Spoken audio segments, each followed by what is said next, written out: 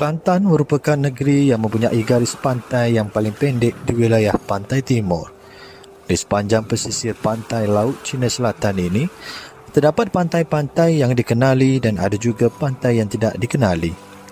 Pantai Melawi adalah salah satu pantai dan juga destinasi perlancongan yang jarang diketahui di negeri Kelantan. Pantai Melawi ini terletak di dalam zon ketiga iaitu zon yang bertemakan aktiviti kesihatan dan kerohanian.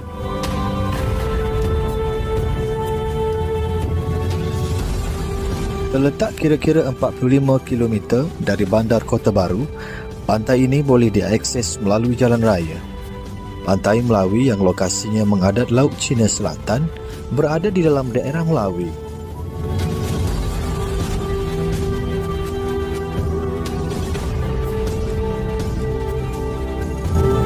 Pusat pentadbiran pejabat daerah Melawi letaknya berhampiran dengan cabang 3 Melawi dan lebih kurang 6 km jauhnya dari pusat pentadbiran Jajang Bacok. Luas daerah Melawi lebih kurang 30.06 km persegi dan didiami hampir 16,000 penduduk. Di kalangan keseluruhan penduduk ini, mereka terdiri daripada 150 orang penduduk berbangsa Cina dan selebihnya adalah berbangsa Melayu. Penempatan yang paling ramai didiami ialah kawasan tepi pantai seperti Kampung Canggung, Pantai Cepa, Pantai Baru, Kampung Badak, Kampung Limau Nipis dan Pantai Melawi. Walaupun lokasi Pantai Melawi agak terpencil, namun jalan raya yang menghubungkannya dengan bandar berdekatan boleh dilalui kenderaan sebesar sebuah bas.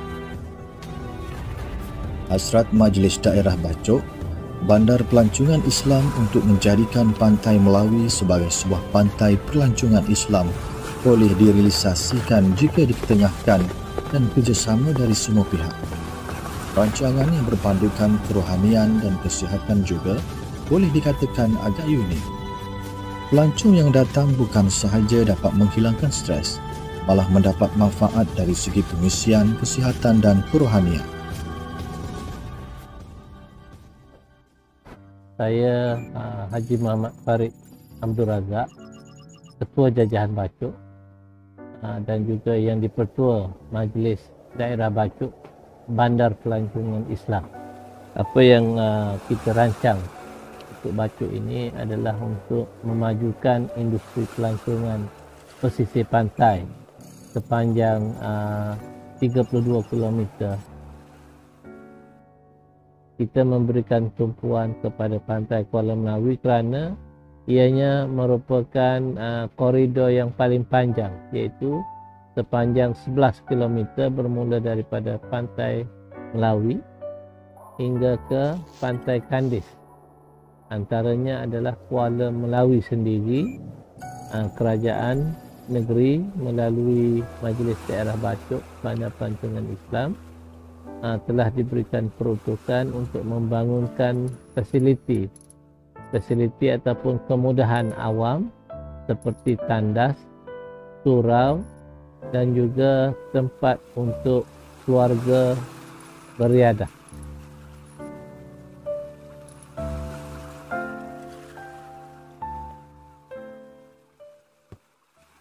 Selain itu, Pantai Melawi ini memiliki keindahan dan keunikannya yang tersendiri. Pantai ini sebahagian besar kawasannya mempunyai permukaan bentuk muka bumi yang rendah dan rata. Pantai Melawi merupakan salah satu dari 13 pantai di sepanjang 78 km pesisir pantai negeri Kelantan. Ia merupakan pantai yang mempunyai penduduk dan sosioekonominya yang tersendiri. Penduduk kampung di pesisir pantai Melawi yang juga di dalam mukim Kuala Melawi ini dianggarkan sekitar 1,595 orang. Pantai Melawi merupakan sumber rezeki penduduk kampung di sini. Selain menjalankan aktiviti nelayan, mereka menjemur ikan kering, membuat budu, perkhidmatan menyewa celet, sewaan aktiviti pantai dan ada juga yang bekerja kampung.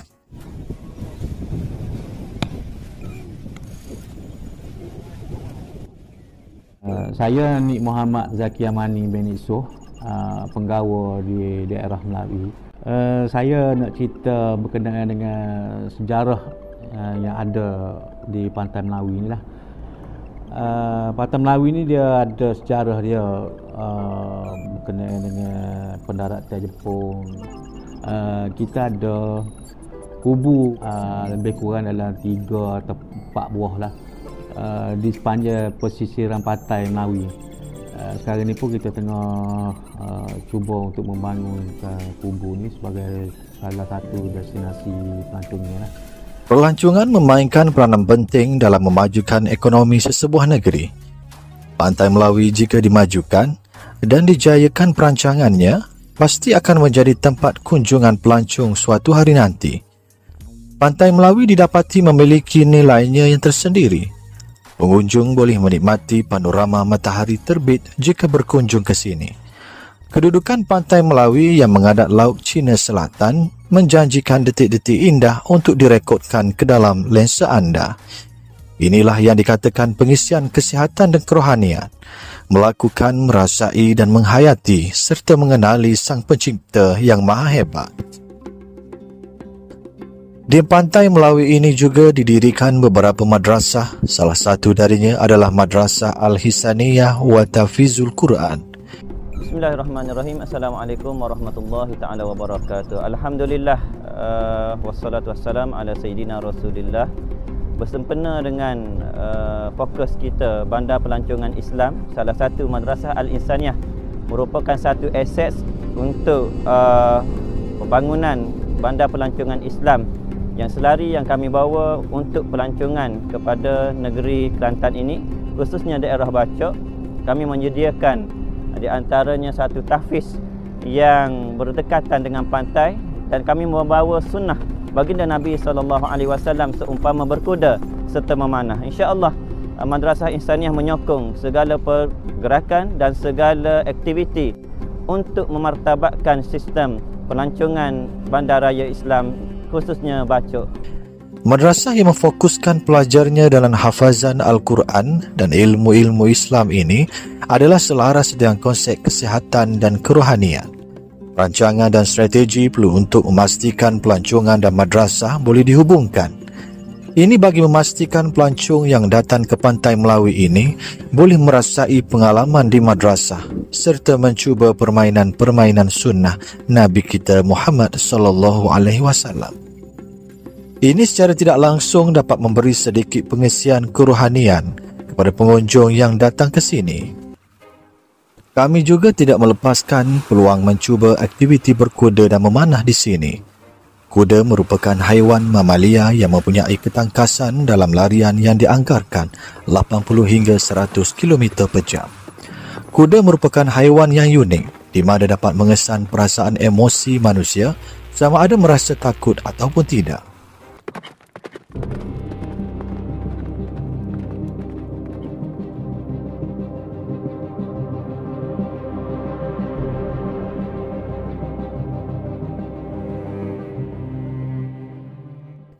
Bagi memenuhi tema kesihatan dan kerohanian, Galeri Rahsia Khazanah Rimba telah dibina berhampiran pantai Melawi ini.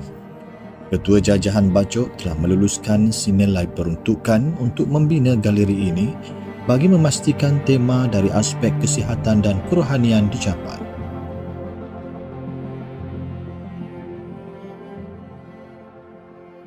Nama saya, uh, kalau mengikut IC, nama Ruslan Mamak. Eh, terlibat dalam herba ni hampir lebih pada 20 tahun lah. Sini ni kita buat satu pusat uh, herba dan kerah. Uh, di, di hadapan ini Jambatan Vera. Uh, sini nama asal Dusun Sokdeh Pulau Kambing. Jadi konsep yang kita bawa hari di sini, rahsia Kazanah Rimba. Uh, seribu satu rahsia Kazanah Rimba. Uh, rahsia tu maknanya kata satu, satu benda tersembunyi. Mana dalam kita nak dapatkan rahsia dalam rimba ni, uh, asas yang kita kena ada, sunyikan diri, sepikir hati. Jadi bila siapa-siapa mari sini bolehlah nak belajar, nak tanya hal-hal kayu-kayu, batu-batu dah dah sewaktu dengannya. Gitu maksud dia nya. Siapa-siapa dia ada masalah kesihatan, tak? Boleh hadir. Sebab sini banyak aktiviti-aktiviti yang kita boleh buat. Ha, siapa-siapa nak belajar nak buat tasbih, mari. Ha, dari segi konsep menua kita boleh ajar sampai ke semi menua pun ada lah. Di galeri ini juga pengunjung dapat melihat matahari terbit tetapi dari sudut yang berbeza.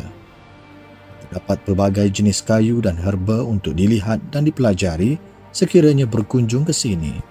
Di galeri ini juga terdapat sebuah celet berhawa dingin untuk disewa bagi pengunjung yang mahu tinggal lebih lama di sini.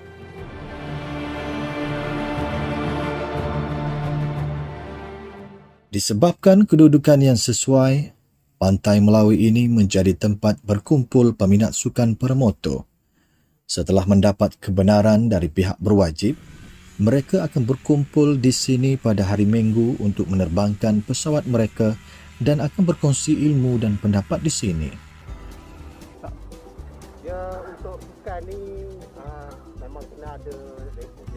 Oh, saya tak bawa. Memang ada. Memang kena ada. Memang yang bawa orang macam ni diwajibkan kena ada. Yalah, maknanya macam kalau Pak Cik nak train dia untuk pilot motor, Oh. dia pun kena ikut-ikut. Itu terpalang pada dia. Pasal lesen ni mahal. Ha.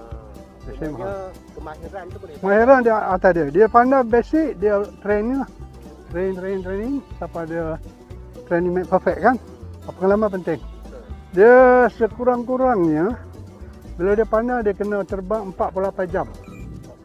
Baru saya bagi dia cuba dengan dengan passenger. Passenger pun kawan lain lah.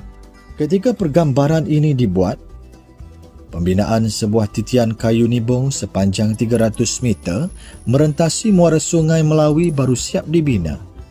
Pembinaan titian kayu nibong ini menepati tema kesihatan yang dirancang di mana pengunjung boleh berjalan di sepanjang titian ini sekaligus mengeluarkan peluh. Keunikan dan seni bina ini jika dipromosikan sudah pasti akan menaikkan nama pantai Melawi ini kelak. Sekiranya berkunjung ke sini, pengunjung boleh menginap di celet atau bilik-bilik sewa yang ada di sekitar pantai Melawi ini. Hampir keseluruhan bilik dan celet di pantai Melawi diusahakan oleh penduduk kampung di sini.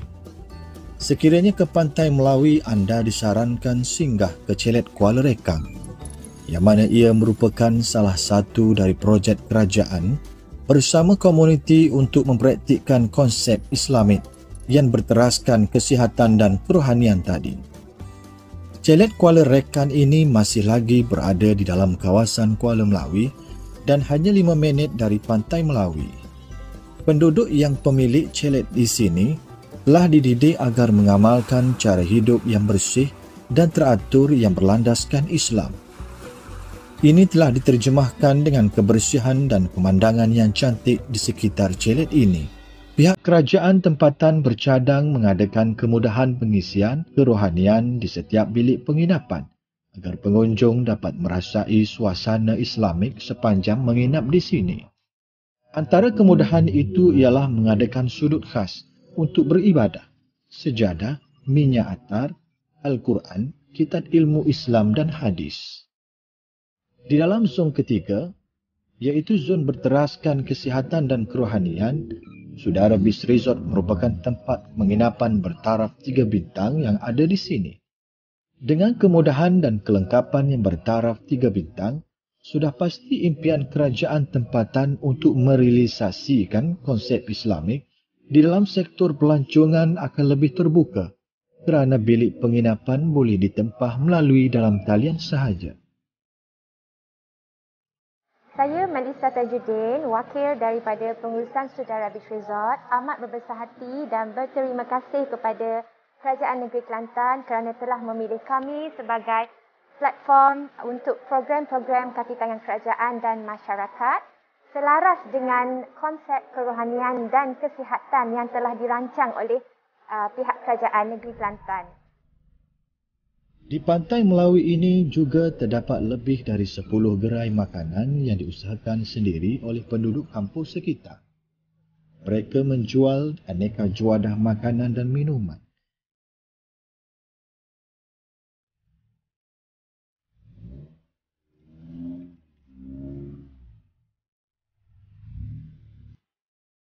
Aktiviti pertama yang kami lakukan adalah berjalan di atas titian kayu nibong yang panjang dan berbengkang-bengkok. Di sepanjang titian ini, anda akan merasai seperti berada di tengah-tengah padang pasir yang berwarna putih dan luas. Pantai Melawi cukup istimewa kerana pasir pantai di sini berwarna putih dan halus. Titian sepanjang 300 meter ini merupakan aktiviti wajib yang perlu anda cuba bila berkunjung di sini.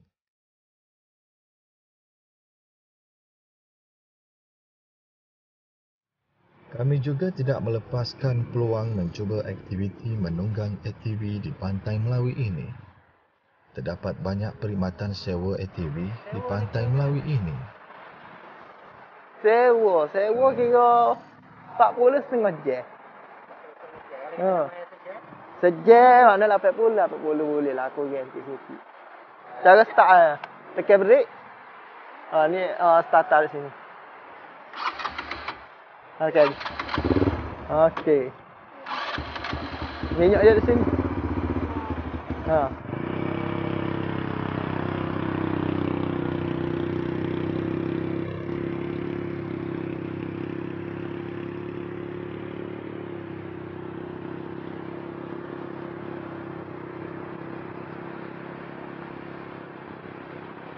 Sukan ATV juga merupakan sukan permotoran yang agak lasak dan memerlukan keberanian dan fokus untuk menunggangnya. Jadi sekiranya berkunjung ke sini, sukan ATV ini wajib anda cuba. Setelah hampir setengah jam di sini, kami terus ke tempat penerbangan sukan permoto. Didapati bahawa mereka sudah mempunyai kepakaran dan mempunyai pengalaman yang lama dalam bidang ini dan telah lulus ujian-ujian khas berkaitan sebelum mereka bergiat aktif di dalam sukan permotoran yang ekstrim ini. Setelah menerangkan tujuan kami di sini, salah seorang dari pelakon menyusuri Laut Cina Selatan diberi peluang untuk merasai sendiri pengalaman terbang menaiki pesawat paramotor ini. Briefing untuk awak lah. Masa nak take off, kaki sini lah di atas awak bebas. Ha, masa nak turun pun di sini. Lepas tu kalau you nak ambil gambar, saya buat low pass. Bagi tahu ke kamera woman. Dan kalau low pass ni dia ambil gambar lah. Sama ada di sana. Macam kita nak turun. Tapi tak turun ya. Payung,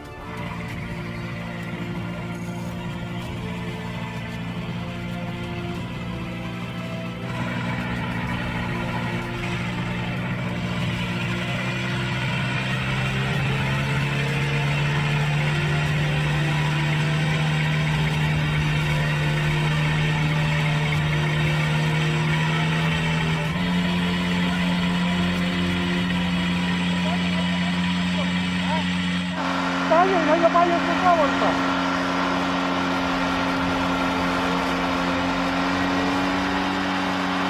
Okey.